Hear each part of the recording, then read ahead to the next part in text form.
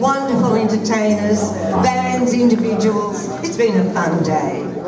Now, the Swingaleles are going to entertain you with one of the most popular song groups ever. They come from Sweden. Who are they? ABBA. Of course, ABBA. We've already heard a couple of songs from ABBA. So we want to see you up dancing and singing along with us. Please have fun for the last time.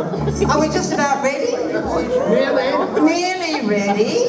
Well, our first song is going to be one that made the ABBA famous. You probably all know when they won the Eurovision, Song Contest in the 1970s. And you know, 50 years later, when they celebrated their anniversary, it was voted the best song ever in the in the Eurovo Eurovision's history. So it's a great song to sing along with. What do you think it might be?